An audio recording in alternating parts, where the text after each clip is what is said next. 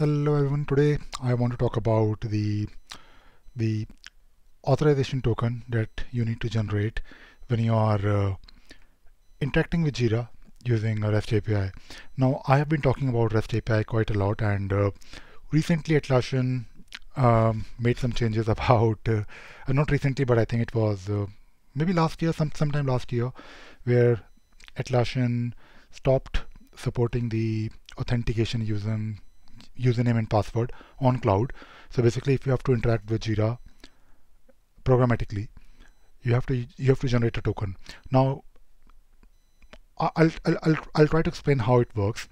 Now, what you need to do is you need to go to id.atlassian.com. So just type in id.atlassian.com, and uh, it will take you to a page where you will see all the all the applications that you have access to. And uh, you basically need to go to one uh, uh, uh, so basically you need to go to your account settings. So let me show you very quickly. Uh, yep. So you need to go to your account settings and when you go to account settings it will open uh, another page for you. And then it will of course look something like this. Then you need to then you need to go to security and uh, you can of course change your password manage your uh, two-factor authentication blah blah blah. But main thing is uh, we need to configure this uh, API token. So if you click on it it will then give you the option to configure this uh, token. Of course you need to create a new token or uh, I mean when you create a new token you can of course copy it and then save it somewhere. And once you do that do one thing open uh, if you have Linux or or maybe Mac OS or if you're on Windows I guess you can uh, install curl I guess using PowerShell. I'm not really sure how it works for Windows. I think uh, you have curl. I'll probably check. I, think it has been a while. But I think using PowerShell you can still make a you, you can use curl if I'm not wrong. So basically just uh, use this uh, I mean I'm just following the documentation just to validate whether your token was was or it is working or not. So you use this command curl hyphen v, then of course your cloud URL, your Jira cloud URL, then hyphen hyphen user, then use your email address. So I'm sure uh, you have an email address, and then use the token that you generated right now uh, in this command. So when you when you don't use any codes, uh, just paste the token and test if it works. So basically, what you can do, you can either use uh, maybe one of the endpoint, like maybe something like uh, this, um, REST API 3 slash issue slash SD1, whatever, and uh, it will then uh, uh it will then of course uh, uh, maybe fetch the issue details. So if you get a JSON response, then it means that it works and, and your token is working. Now the way to use it in your code is basically using a, encoding. So you need to encode it using base 64 and you will find plenty of examples online. And uh, when you are uh, I mean if you're using uh, let us say Postman or Talend API I don't really use Postman. I think I should because Postman is probably much more advanced than uh, than Talend API but Talend API is simple and it works for me. I mean I, I don't really uh, care too much about the tool I'm using. I want things to get done. So if you're using Talend if you enter your username, uh, not username, but your if, if you enter your email address and the token that is generated, it will actually convert. So basically the combination of your username and your token, and when you base, when you encode it using base64, you will get one string, encoded string. Use that one in your code or in, in your Talend API. Uh, and if you're using, let us say, Groovy, you have methods for doing it. I'm sure you have similar methods in other programming languages. Let me just go do a quick search. Um, so REST, I'm doing it for the very first time. REST API base uh, 64 encode username password something like this I mean just search for it and I'm sure you will find uh, plenty of examples online and uh, let us let us take a look at this link maybe maybe this one as well so basically you have to use your email address along with your token to, base, to, basically encode this and then use it in your uh, in your uh, code.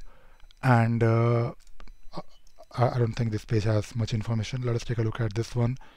Okay, this page is basically showing you uh, what you need to do using some tool, I guess. I don't know what tool they're talking about. But let me just also type in here Groovy. I'm sure I have an example. Um, I don't re really remember if I covered this. Okay, so Groovy scripts and base 64. Let us open a couple of these uh, links and uh, let us verify. So basically the combination of your username colon your token and when you base when you encode it using base64 then you will get something uh, which you need to use in your uh, in your uh, code when you're making a REST call. I think yeah I think this is it. So this will probably work. Something like this so like this should be it, it is in PHP but it is it is same thing. I mean uh, I'm just trying to share what you need to do. Um, and uh, when you do that of course uh, use that token in your uh, I mean not the token but the encoded string that you get when you're making a REST call. But if, if you're using as I mentioned before if you're using Postman or if you're using Talend API tester you just enter the token as it is along with your email address and it will do this encoding base 64 encoding for you which you can use uh, which the tool will use to make a REST call. And I'm, I'm making this video because one of my video on Jira REST API, in fact, the whole series of REST API and along with uh, one specific video uh, has got maximum views on my channel because people want to do these things using REST API. And that is why I made uh, videos on uh, REST API on my channel. In fact, I have a lot of them just talking about REST API, like wonderful things you can do with with, with, with, Jira Cloud REST API. And if, if, you, if you're new to, to my channel, just go to my website, ravisagar.in and uh, go to mastering Jira REST API. So what I normally do, I organize all my videos on the, on the website. So you will find plenty of information here, I guess. I'm sure I have talked about it. Maybe not. It's a bit... Okay, how to authenticate. So I have talked about these things in the past. In the past. So see this is the example I'm talking about so go ahead and try and uh, I'm of course repeating myself today but I wanted to talk about this you know one thing which I'm which I'm sharing today which I don't remember sharing before is uh, the encoding part. When you're using uh, let us say a Groovy script you have to base 60, you have to encode it using base 64 so just search for base 64 if you want to know about it. And uh, base64 is uh, is in programming. Base64 is a group of binary to text encoding schemes blah blah blah. I'm not really going to talk about the algorithm because i don't know the algorithm. I remember learning these things when i was in college. Uh, we had one one chapter not chapter we have one complete subject on cryptography. Uh, and that was a while back I think more than 20 years ago. So but cryptography is not really not really a new thing. Anyways so we'll, we'll probably uh, talk about it again if I have anything new to share on this REST API thing. But I was looking for so I have already talked about a lot of things that you can do with REST API and the last set of videos I made on REST API talked about uh, talked about uh, the ability to talked about some endpoints that you can use to talk to Jira software for getting the sprint information. But if you have any if you have any suggestions, if you want to if you have if you want me to cover something that you are struggling to cover, let me know. I might know the answer or I'll probably try to find the answer for you. And of course I'll also learn along with you. And I, I, am now focusing a bit more on REST API these days and recently, like a few months, last past few months, because uh, because things are moving towards Jira Cloud. And even if you have to develop an app using Cloud, for example, uh, uh using Forge, Forge, then uh, you need to use the REST API. So I started looking, I started exploring Forge API uh, recently.